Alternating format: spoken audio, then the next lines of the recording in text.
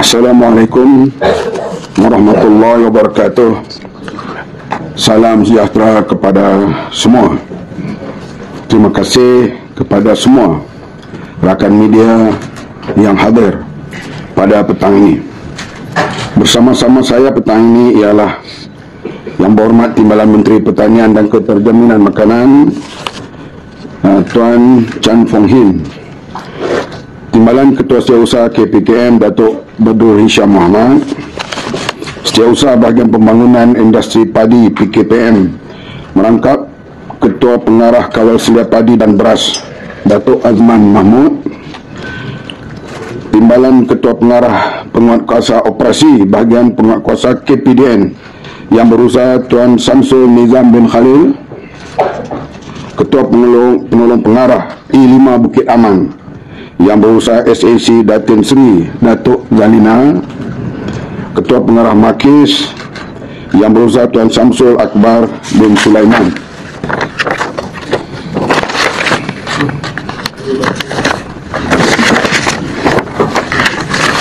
Kerajaan perpaduan di bawah Yang Amat Berhormat Datuk Seri Anwar Ibrahim Amat Peka serta prihatin terhadap keluh kesah rakyat ikuran kenaikan harga beras putih import.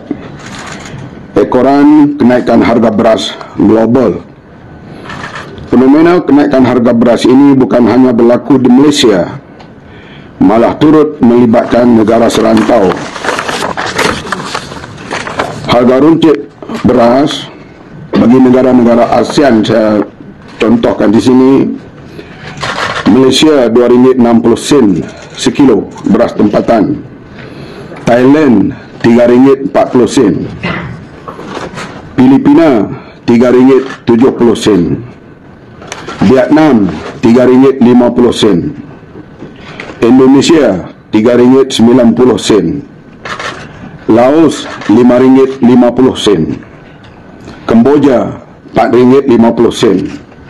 Brunei RM6 Singapura RM4.50 oleh itu beras tempatan di ASEAN ini yang paling murah ialah Malaysia RM2.60 sekilo.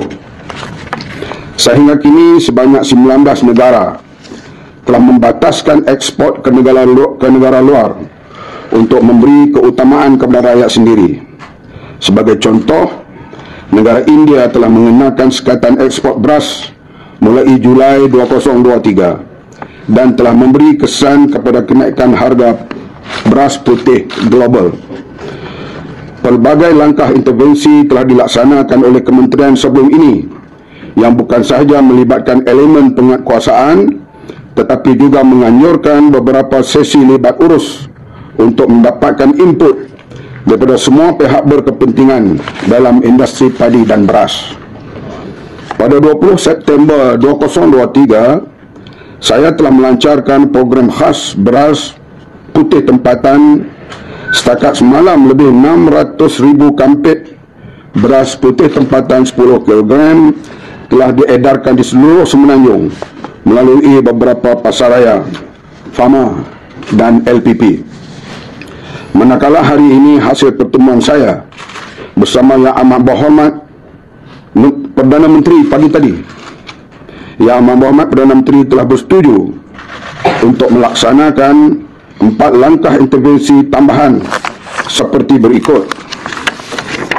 Pertama, Pertama, telah diarahkan untuk meningkatkan pengedaran beras putih tempatan ke kawasan, ke kawasan luar bandar termasuk ke kedai-kedai runcit.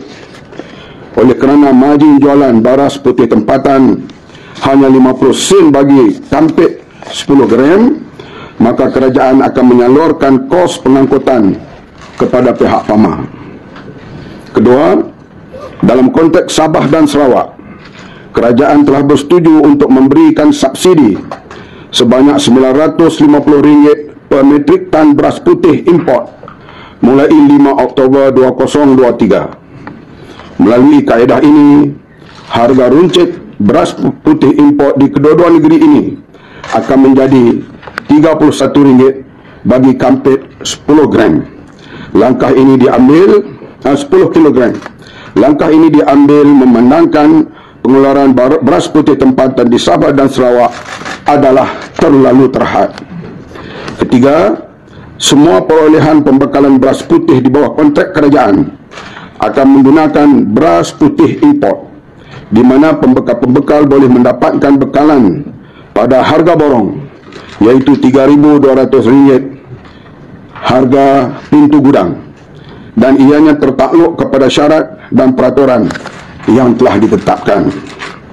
Yang keempat, hari ini juga kerajaan akan melancarkan op bersepadu beras putih tempatan yang melibatkan Badan Kawan Selia Padi dan Beras KPKM, penguatkuasa Kementerian Perdagangan Dalam Negeri dan Kos Sara Hidup, Polis di Raja Malaysia, Jabatan Kastam di Raja Malaysia dan Jabatan Perkhidmatan Kuarantin dan Pemeriksaan Malaysia, MAKIS. Ok bersatu ini akan diketuai oleh Tuan Chan Fong Hin, Timbalan Menteri Pertanian dan Keterjaminan Makanan. Melalui Ok bersatu ini, kita akan membuat pemeriksaan menyeluruh ke atas rantaian industri termasuk semua kilang-kilang besar dan stor-stor pemborong beras mulai esok. Sampel beras juga akan diambil di semua kilang beras di gudang-gudang pemborong dan juga di pasaraya untuk dibuat analisis kimia. Saya ingin menegaskan di sini bahawa pihak kerajaan akan mengambil tindakan yang tegas ke atas mana-mana pihak yang didapati menukar kampit atau mencampurkan beras putih tempatan dengan beras putih import atau menyorokkan beras putih tempatan. Akhir sekali saya ingin mengingatkan orang ramai sekali lagi supaya bertenang dan membeli beras mengikut keperluan dan kemampuan masing-masing. Jangan ada panik buying. Beli seperti biasa ikut keperluan keluarga masing-masing. Terima kasih. Ada apa-apa persoalan? Uh, ada kemungkinan tak uh, bilangan uh, jumlah beras uh, pada ini kekurangan sebab uh, penjelang tak nak keluarkan sebab keuntungan majlis keuntungan terlalu rendah. Sebab harga nangkai 2,100 untuk satu tan metrik tapi sekarang uh, pihak pemerintah sendiri dah satu yang berakhir kira-kira dia kata margin keuntungan dengan kerja untuk kilo. So adakah kemungkinan itu punca bekalan yang berkurangan atau macam uh, punca bekalan bukan berkurangan pembeli. Memindahkan pembelian mereka daripada beras import kepada beras tempatan. Kerana beras import uh, naik mendadak maka mereka mencari beras tempatan. Maka beras tempatan terpaksa dikeluarkan dengan begitu cepat untuk memenuhi uh, pembeli-pembeli.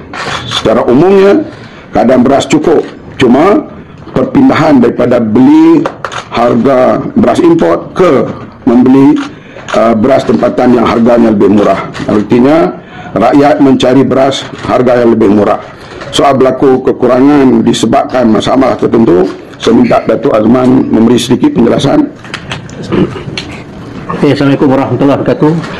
Berkaitan tentang uh, soalan yang dibangkitkan bergantung kepada pembelian oleh industri lah industri dibenarkan untuk membeli padi dalam 1200 per itu kos yang industri terpaksa tanggung dan uh, baru-baru ni ada lonjakan ni harga padi daripada 1200 pada 1700 maka dengan itu harga beras uh, tempatan kekal dengan RM2.60 cuma apa yang di, ditanya tadi adalah adakah mereka tidak dapat keuntungan? Sebenarnya mereka ada keuntungan cuma sedikitlah keuntungan yang ada.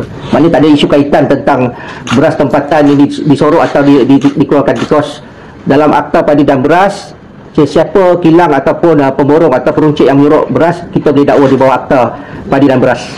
Akta 522 okay, ada lagi?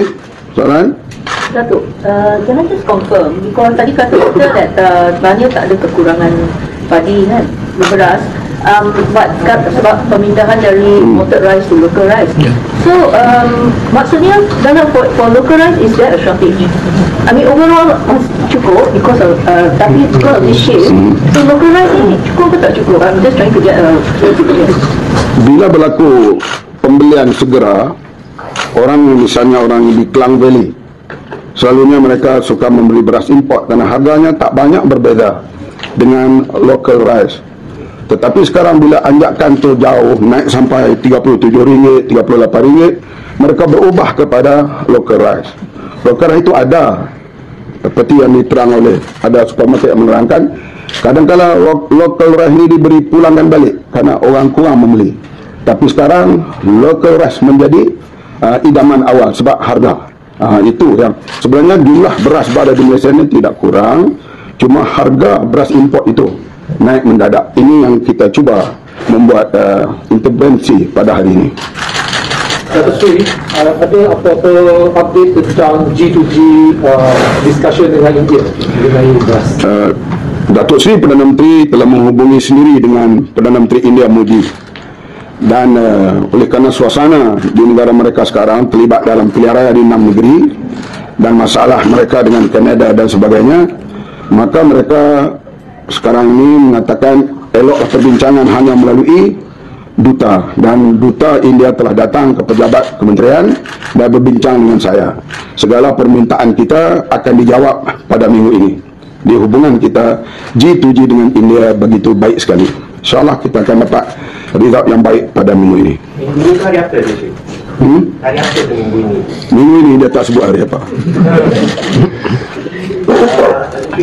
uh, Persatuan Pemborong kata instead of dia kilang uh, dia spekkan beras putih tempatan dia lebih gemar kepada uh, beras lain sebab keuntungan keuntungan itu lebih besar so adakah ini sebenarnya ada punca dan soalan kedua harga lantai untuk beras itu dapat menaikkan tempat lantai adakah ini sebenarnya tindakan uh, pemborong untuk mendesak kerajaan menaikkan harga lantai uh, beras. Memang uh, pihak peniaga penilang mendesak supaya berlaku kenaikan harga kerana kita tahu harga RM2.60 ini harga tahun 2008 tetapi pihak kerajaan akan mengkaji dari masa ke semasa tentang keperluan semua pihak. Soal berlaku pertukaran kampik dan sebagainya kita minta Datuk Azman memberi penjelasan Ya, berkaitan dengan uh, tentang penguatkuasaan lah. Mana bermula pada besok uh, YB Timbalan Menteri akan uh, kita akan mesyuarat dulu, kita akan bincangkan TOR dan kita akan minta kerjasama semua agensi yang terlibat tadi dan kita akan buat pemeriksaan di semua peringkat pengedaran dan juga di peringkat kilang lah. Itu yang kita janji pada pada pada hari ini dan komi- kita akan komited tentang apa yang kita janji pada pada semua orang. lah. okey last ada? ada ada saya ucap terima kasih kepada semua. Harap semua teman media membantu uh, pihak pemerintah kerajaan dan semua rakyat bekerjasama soal food security ini. Ini masalah kita semua. Tanya, so this ASEAN meeting yang untuk minggu ni, uh, macam if uh, beras and rice security, is this ada tak? Ada? uh, so tentu kita akan timbulkan. Ini perkara yang penting sebab ASEAN di antara negara pengelola beras seperti Thailand Vietnam. Malaysia um, ada tak uh, looking to buy rice from ASEAN countries like Thailand or kita beli minta? Memang kita membeli dengan negara sumber sekarang ni. Ben- Benar lah ya. benar wakil benar untuk mengikuti risiko risiko pemilihan negara kita memang membeli daripada pelbagai negara. Thailand, Vietnam, Cambodia, Burma itu part of kita punya nak usai on top of that in the southern part of, of India ni kan negara seperti India dan Pakistan are also major supplier to Malaysia like that at this juncture India dia because of the impose uh, export ban buat masa ni kita boleh dapat lah. Tapi as is now uh, supply untuk Malaysia tu continue apa semua. Um, but the India is the main supplier? India itu ni saya uh, disebabkan kita punya multi sourcing Malaysia rasa tak boleh jaga waktu ini tapi disebabkan langkah India uh, itu mempengaruhi kenaikan harga dunia lah. Tapi dari segi untuk mendapatkan sumber Malaysia sebagai sebuah negara kita tidak ada masalah langsung untuk mendapatkan bekalan dari negara-negara lain. Okay, baik. Thank you.